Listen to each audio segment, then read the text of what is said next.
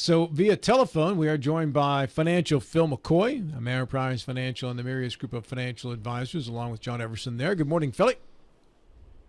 Good morning, guys. How are you? Sounds like you're en route someplace, Phil. I am. I'm on my. I'm on. You, we don't know what you said because that just cut out. Uh-oh. Yeah, you, that I heard. Don't cuss. I heard the Don't cuss. Daggone. Here, open material coming. Yep. Phil, uh, let's start first with football, right? Let's do it. All right, go ahead, Let's man. do it. Do you, Steelers Ravens yesterday. Give it to me. Well, that that was your traditional, typical Pittsburgh Steelers. When I couldn't be happier about how that game ended. We're going into the bye week, number one in the AFC North, and they have played terrible for the first five weeks. So a terrible Pittsburgh Steelers team is still the best in the AFC North as of right now. I couldn't be happier. That is awesome. Yeah, that's always good to beat the Ravens. Now, I have, I, I did. I was talking to Dylan, who happens to be a, a Ravens fan, and I don't. I've always wondered how does that happen. How did anyone become a Ravens fan? You can say, "Well, I'm from Baltimore." Well, the Ravens aren't Baltimore. The Ravens are old Cleveland. So it's like Cleveland has two teams right now, and neither of them can be. Still, but the, so Cleveland has two teams. He could have easily gone to Pittsburgh or, or, or God forbid Washington or somewhere that was closer by instead of taking a transplant team. I said, look, man, nobody ever said you had to like your stepbrother and that's kind of what the Ravens are to Baltimore people. They're not they're not the Ravens. Those guys left in the '80s on the Mayflower to go to Indianapolis. That's their team. Dylan, And so I don't know how anyone He's not done yet. ever said. I, I, like I've, Wondered, like what made you think, oh, they're purple. I'll, I'll go, and their their their their mascot is a lice infested bird. I think I'll go with this thing. I don't know. I don't, don't get it. infested bird. This this is regal. This is cultured stuff. It's Edgar Allan Poe, Phil. Come on now. I mean, I was born in Edgar 19. Allan Poe, who was originally from South Carolina, I found that out last year. Charleston, South- He's not even from Baltimore. Well, he died there. You know, it's, uh, that counts for something. Uh, I was Talk born. about transplant. well, maybe he moved in the middle of the night too, Phil. Who knows? well, maybe. I was wondering why Dylan was avoiding me this morning. He seemed really quiet. Then I forgot he's a Ravens fan. I couldn't remember if he was a, a Commanders or a Ravens fan. So I was born. You born know, in and I'm 19. getting all these messages from my fans or my friends about oh the drop passes and oh the interception. Well, those are called mistakes, and most teams that make the least mistakes win the game, and especially in big games, it's just too much for 'em, man. And it always has been for Lamar Jackson. It's a good day to be a Pittsburgh Steelers fan. Now we got a week off. We're gonna figure that offense out. We're gonna figure it out. No, let's we're get not. some. Let's get Travis Bagent and Ronnie Brown, and let's get those guys in there. Let's figure out that offense and, and get on get on our way to the AFC Championship. Let's Go, do it. go ahead, Dylan. You were about to say. I was gonna say I was born in 1998, so uh, the Ravens were already around. So I, I can't say that I was uh, gone without a team at the very least. But I, I will say my mo- my mother, who was from Clear Spring, Maryland, actually grew up a Bears fan because of the '85 Bears, and for, so for a There time they were my favorite team. But it was very when I was very little. So, but then I eventually came around to the Baltimore sports side of things, which boy, what an awful day for them yesterday, all all around. I went to the Orioles game yesterday. I wish I did. Yikes. Hey, so uh, Phil, um, uh, AR Emmert wants to know: Did you mean Tyson Bagent or Travis Bagent? Because you said Travis. Either one, it doesn't matter. Travis could come block, and Tyson could throw the ball. It doesn't matter. We'll take them both on the offensive side of the ball. And uh, Heather Compton, who's your, who's your team? Because Heather's not happy that you're talking Steelers right now. Blah blah blah is what she said. Same old Steelers. Blah blah blah. Oh gee, said Heather Compton. Uh, well, it is the same old Steelers because I think they've won six out of the last seven against the Ravens. So I guess it is kind of the same old Steelers. Oh, there it is. And now I know why. Heather. She's a Ravens fan. That's that, there's My the answer. apologies. Yeah. My apologies. I saved a seat on the bus, Heather. If you'd like a ride on the on the Steeler fan bus. Listen, Lamar's only played like two of those last six out of seven. So I think he's. They said he was. He's played. Uh, this is his fourth game against the Steelers. yeah, in Uh, what think five is what it years? said, yeah. like, come on. man. He's But been injured a lot. Did you notice the score between the two? uh, score dif- differential between the two over the last uh, 15, Yeah. 17 Two years? points. Two points. under Two- Harbaugh Tomlin, which Yep. is the second longest coaching uh, matchup in the history of the NFL behind Lambeau and Halas, Yeah. which is but pretty now it's insane. plus nine. It's plus nine now. Philly, you're amazing. Uh, hey, uh, here's the thing. I was going through the things that happened on uh, this date in history, and I saved this one for you uh, for last because it was on this date, Phil, in 2007, that the Dow Jones, which I know you don't like to pay attention to that one, but it is the one most people reference. The Dow Jones Industrial Average, this day 2007, reaches an all time high of 14,164 points before rapidly declining due to the 2007 2008 financial crisis. And if you were wondering, the uh, Dow futures right now at 33,433, 16 years later. So it's doubled in those uh, 16 years plus another 5,000. Phil, uh, remembering that crisis of 07, 08, and then what we've been going through lately, uh, the uh, the market certainly has had its share of challenges this uh, this century. Yes, it has, and, in particular, if you look at these last three years, just since COVID, there's been so many times where we thought, "Oh boy, this is it. We're going down to all-time lows, and it's never going to stop." And it just hasn't panned out this way. And right now, we we are in a very strange period. And I'd, I'd said, "Hey, there's a lot to unwrap with that jobs report that we got on Friday." And most people would would assume that good news, and, and in a vacuum, it is good news there's a lot of job openings. There's a lot of jobs to be had.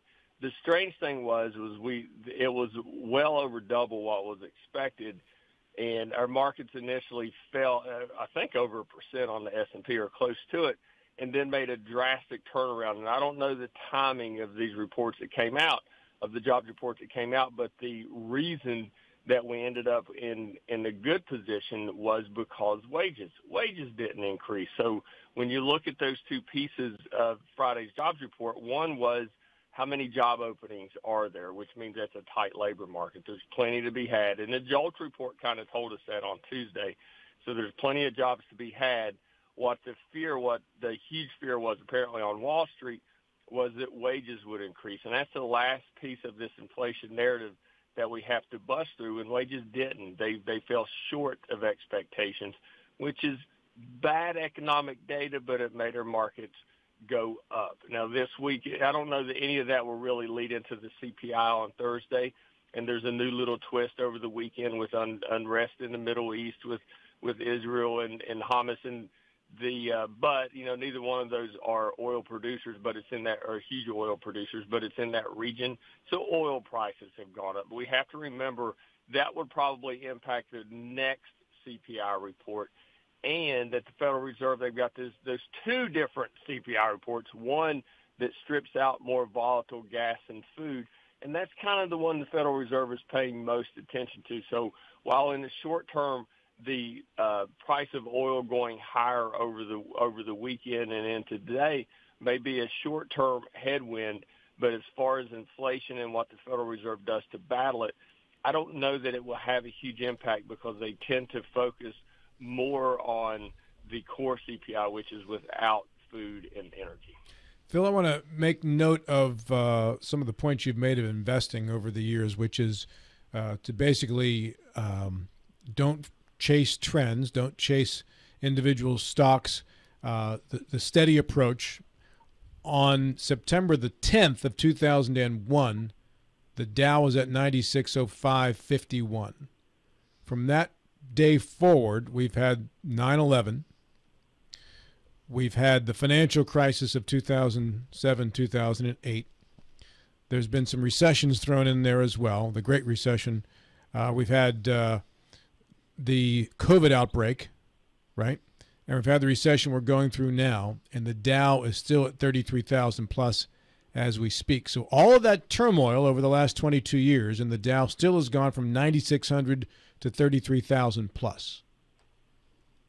Yes, and you know, at the end of the day, when you look at what drives these indices, it's companies' ability to make money.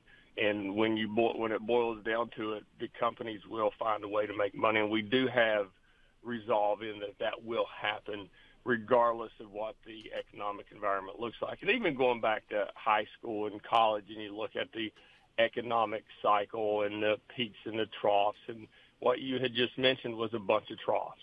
And shortly thereafter, all of those events, our markets had really taken off. The dangerous part comes when we try to time those and we try to figure out when will those happen. And, and you know, I reference March and April of 2020 quite often but if I were to time that, and I do this for for a living, and and this is all really other than this and the Pittsburgh Steelers and occasionally volleyball that I, that goes through my mind.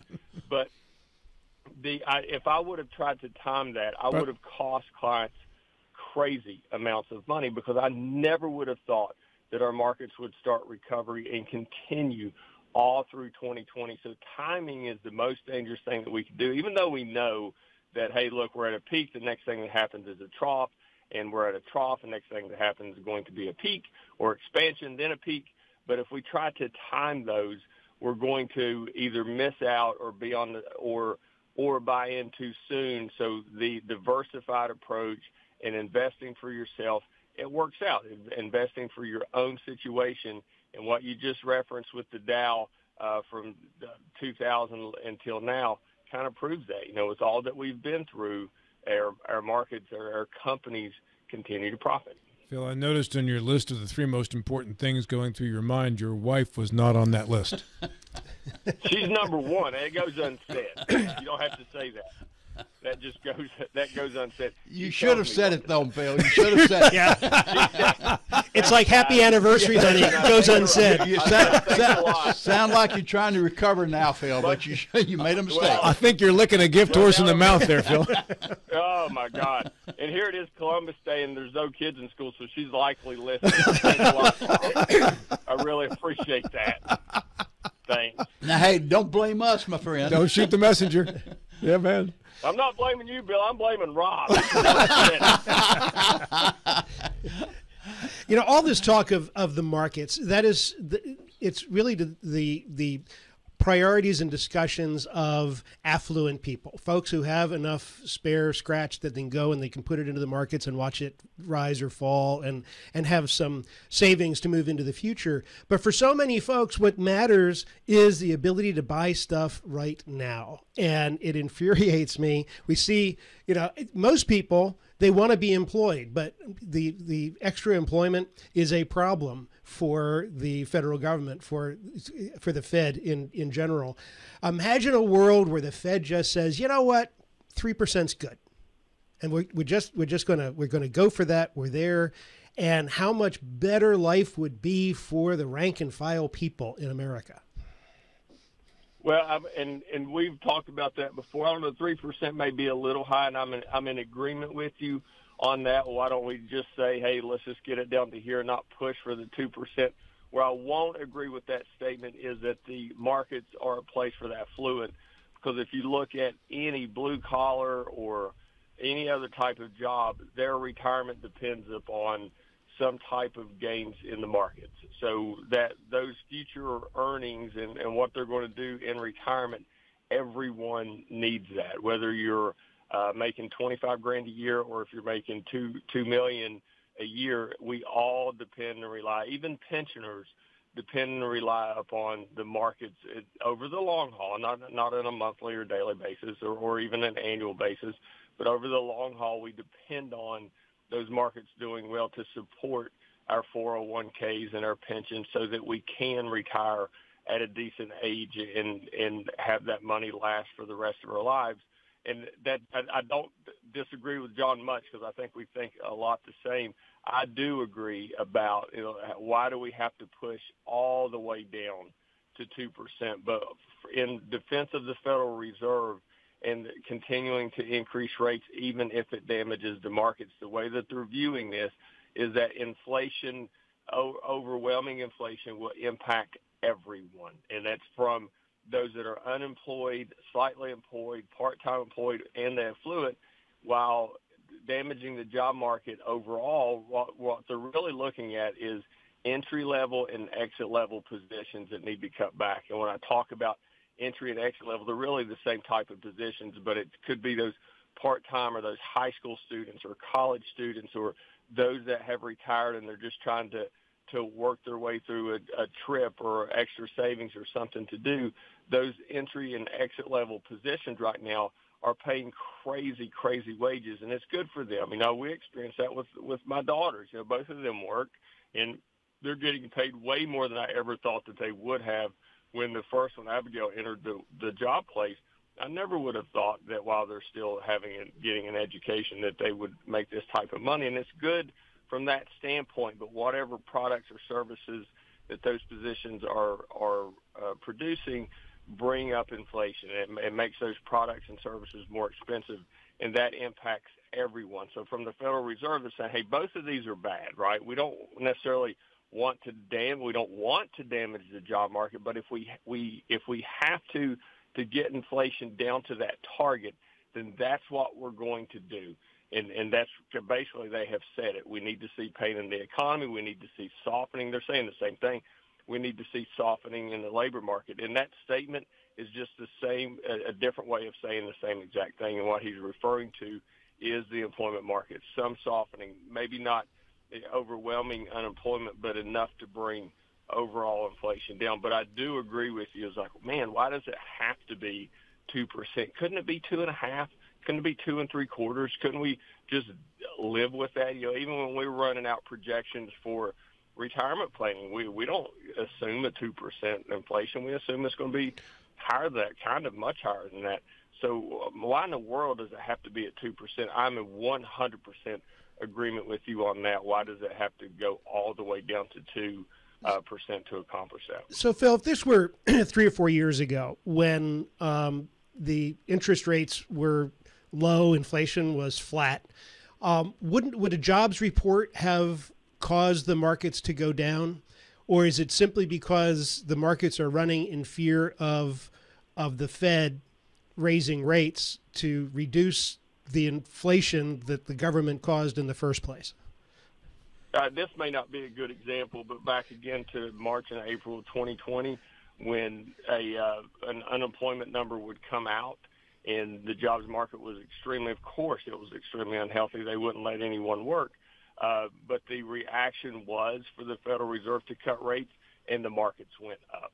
So that that was that was the main catalyst. That and some of the stimulus that sent our market soaring at a time where we had close to 20% unemployment rates was the actions of the Federal Reserve, and now we're just seeing the reverse of that. A little bit slower, but we've we've been seeing the reverse of that since 2020, really in the fourth quarter of 2021 too. But in 2022, everything has funneled into what does it make Jerome Powell and the Federal Reserve do, and our markets have reacted in in in um, in contradiction to that. So if something good happens, our market has gone down. If something bad happens, our market goes up on the premise that the Federal Reserve would take action to, to offset that whatever whatever economic event happened.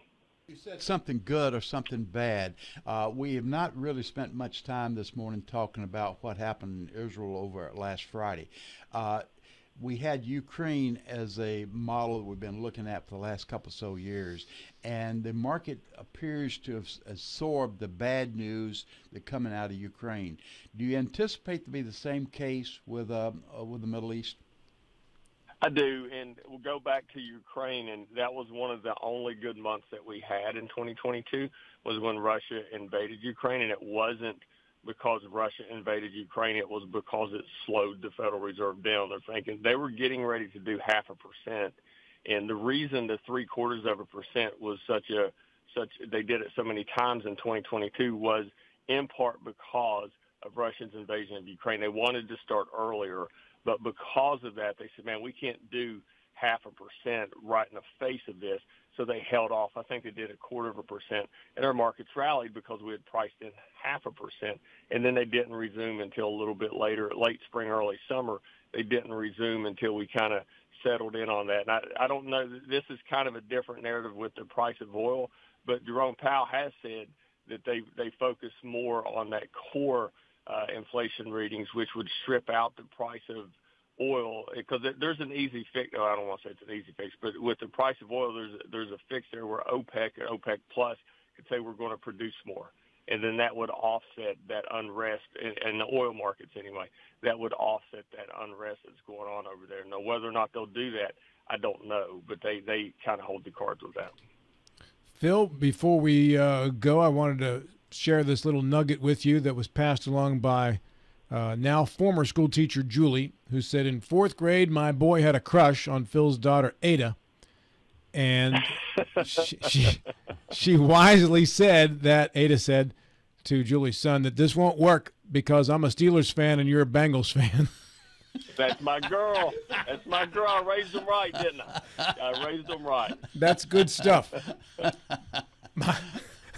I would expect nothing less. Wouldn't eat at, my oldest wouldn't eat at Burger King for years because they had Redskin cups, and I support that type of behavior 100. percent I do as well. I 100% support you there. Phil, how do even Ravens fans reach you if they have any financial questions? They don't. You can reach us at three zero. you can reach us at three zero four two six three four three four three, or stop by and see us with an appointment at twelve seventy Winchester Avenue, right here, in Martinsburg. Thank you, Phil. Have a great day. Go Steelers.